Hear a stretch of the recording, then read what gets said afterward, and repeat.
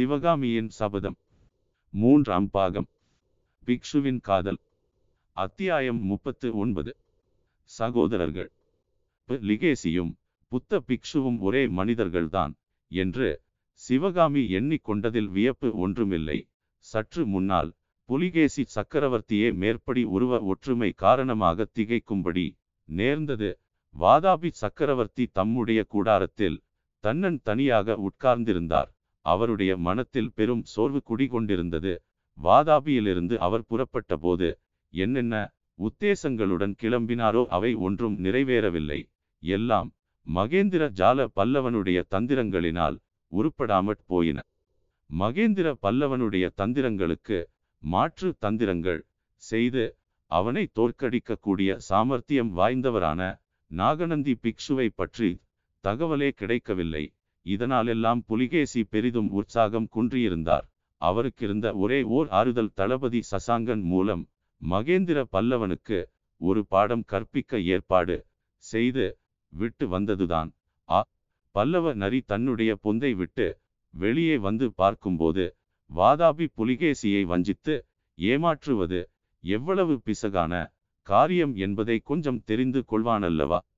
தளபதி சசாங்கன் தம்முடன் வந்து சேர்வதற்காகவே சக்கரவர்த்தி வடபெண்ணையின் வடகரையில் காத்து கொண்டிருந்தார்.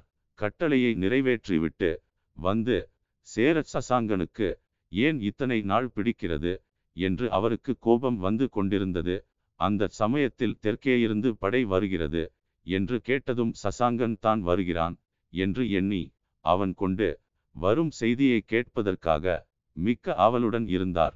கூடாரத்துக்கு வெளியே குதிரை ஒன்று வந்து நின்றதும் சசாங்கன் இவ்வளவு தாமதமாய் வருவதற்காக அவன் மேல் எரிந்து விழுவதற்கு ஆயத்தமானார். ஆனால் உள்ளே பிரவேசித்து வந்தது சசாங்கன் அல்ல. கிரீடமும் வாகுவலயமும் சக்கரவர்த்திக்குரிய மற்ற ஆபரணங்களும் தரித்த நெடிதுயர்ந்த கம்பீர உருவம் ஒன்று வந்தது. அதை பார்த்ததும் புலிகேசிக்கு ஏற்பட்ட திகைப்புக்கும் குழப்பத்துக்கும் எல்லையே இல்லை. இது என்ன? எனக்கு சித்த பிரமை பிடித்து விட்டதா அல்லது மாய கனவு காண்கிறேனா? பின் ஆசனத்தில் இதோ சாய்ந்து உட்கார்ந்திருக்கும் நானே கூடாரத்துக்கு வெளியிலிருந்து எப்படி உள்ளே வர முடியும்? என்று திகைத்தார். புலிகேசியின் குழப்பத்தை பார்த்து விட்டு வெளியிலிருந்து வந்த உருவம் புன்னகை புரிந்து தம்பி ஏன் இப்படி பயப்படுகிறாய்? நான் என்ன பேயா? பிசாசா? பூதமா? உனக்கு என்னை தெரியவில்லையா? என்று சொல்லிக்கொண்டே தலை கிரீடத்தை எடுத்ததும் பிக்ஷுவின் மொட்டை தலை காணப்பட்டது. உடனே புலிகேசி குதூகலத்துடன் துள்ளி எழுந்து அண்ணா நீயா என்று கட்டி கொள்ள போனவர் மறுபடியும் திகைத்து நின்று ஆஹா இது என்ன வேஷம்? உன்னுடைய வாக்குறுதி என்று வினவினார். அப்போது புலிகேசியின் கண்களின் ஓரங்களில் பொறாமையுடன் கூடிய குரோத ரேகை தென்பட்டது.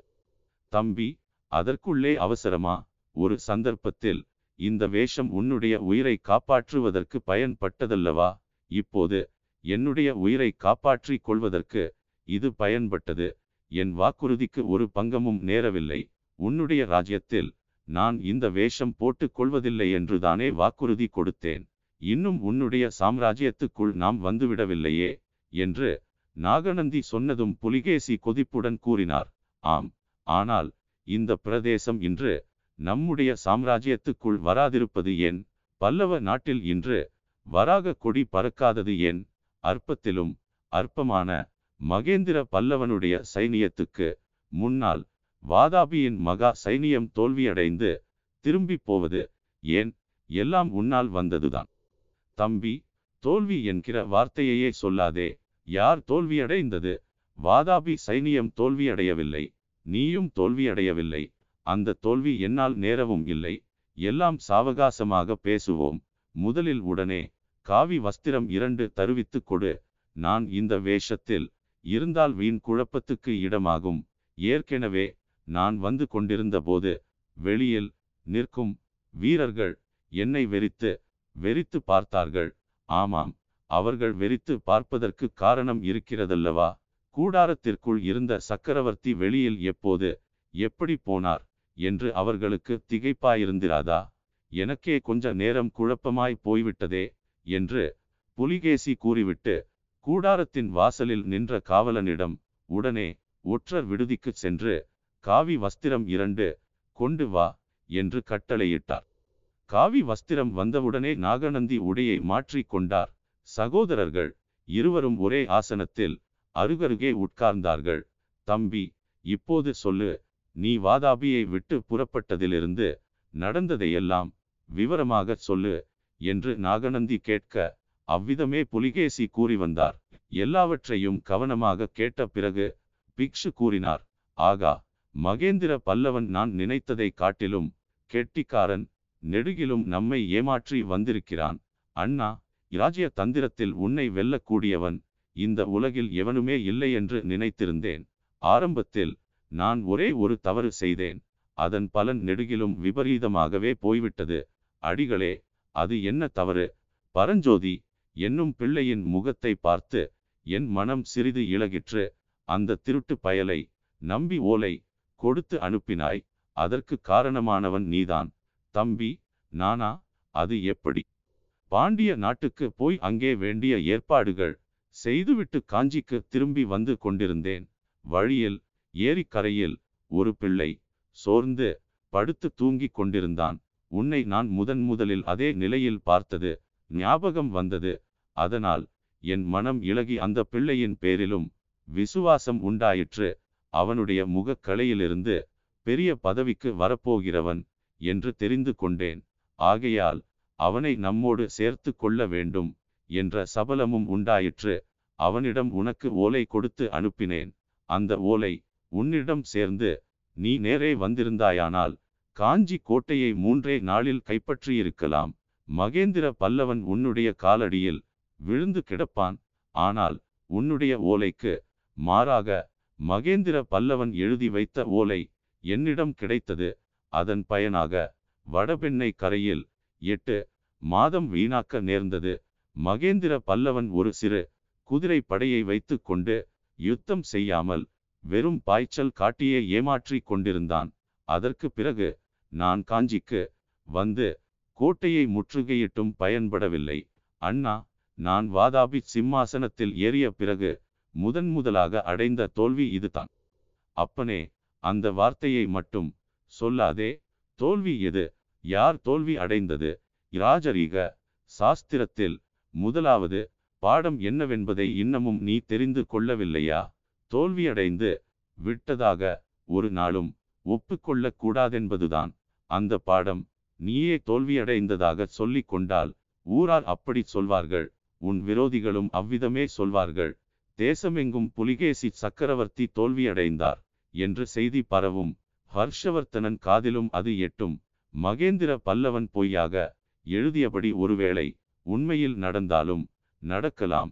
நர்மதையை கடந்து ஹர்ஷனுடைய சைனியம் உன் இராஜ்யத்திற்குள் பிரவேசிக்கலாம். தோல்வி என்ற வார்த்தையை இனிமேல் சொல்லாதே தம்பி.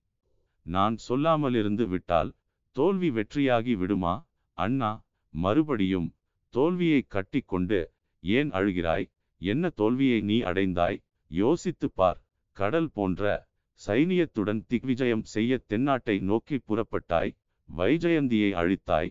வடபெண்ணை கரையில் பல்லவ சைனியத்தை நிர்மூலம் செய்தாய் காஞ்சி கோட்டையை முற்றுகையிட்டாய் தெற்கே கொள்ளிடக் கரை வரையில் சென்றாய் பல்லவன் சிறைப்படுத்தியிருந்த துர்விநீதனை விடுதலை செய்தாய் காவேரி கரையில் தமிழகத்தின் மூவேந்தர்கள் சேர சோழ பாண்டியர்கள் வந்து உன் அடிபணிந்து காணிக்கை செலுத்தினார்கள்.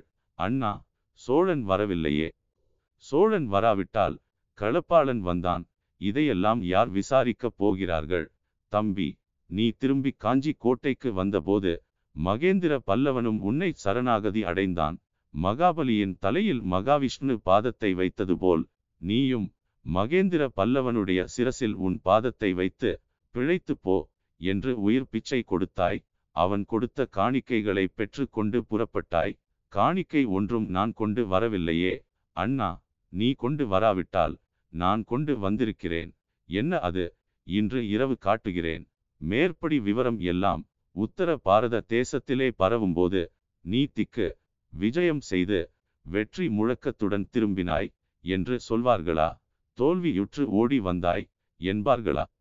அண்ணா உன் சாமர்த்தியமே சாமர்த்தியம். தோல்வியை கூட நீ வெற்றியாக மாற்றக்கூடியவன். உன் பேச்சை கேட்ட பிறகு எனக்கே நான் அடைந்தது. வெற்றி என்றே தோன்றுகிறது. ஆனால் இந்த வெற்றி செய்தி வடநாட்டிலே எப்படி பரவும்? ஆ புத்த பிக்ஷுக்களின் சங்கங்களும் சமணர்களின் மடங்களும் பின் எதற்காக இருக்கின்றன? நாகார்ஜுன பர்வதத்துக்கு உடனே ஆள் அனுப்ப வேண்டும். அண்ணா நீயே போவது நல்லது. உனக்கு வெங்கியிலும் வேலை இருக்கிறது. என்ன வேலை? விஷ்ணுவர்த்தனன் காயம்பட்டு கிடக்கிறான். சென்ற வருஷம் அவன் வெற்றி கொண்ட வெங்கி இராஜ்யத்தில் இப்போது எங்கே பார்த்தாலும் கலகமாம். அதற்கு நான் போய் என்ன செய்யட்டும்?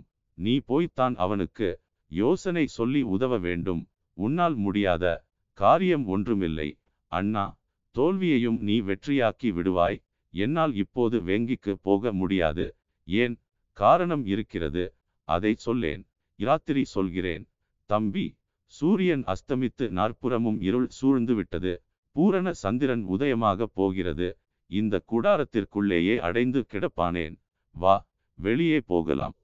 ஆமாம் ஆமாம் பிரகிருதியின் சௌந்தரியங்கள் அநியாயமாய் வீணாய் போகின்றன என்று பரிகாச குரலில் சொல்லிக்கொண்டு புலிகேசி சக்கரவர்த்தி எழுந்தார். உனக்கு எவ்வளவோ பாக்கியங்கள் இருந்தாலும் என்ன பயன்? சௌந்தரியத்தை அனுபவிக்கும் பாக்கியம் மட்டும் இல்லை என்று சொல்லிக்கொண்டு நாகநந்தி எழுந்தார். சகோதரர்கள் இருவரும் ஒத்த வயதுடைய ஆத்ம சிநேகிதர்களைப் போல கைகோத்து கொண்டு வெளியே சென்றார்கள். இத்துடன் இந்த பகுதி நிறைவு பெறுகிறது அடுத்த அத்தியாயத்தில் சந்திப்போம். நன்றி.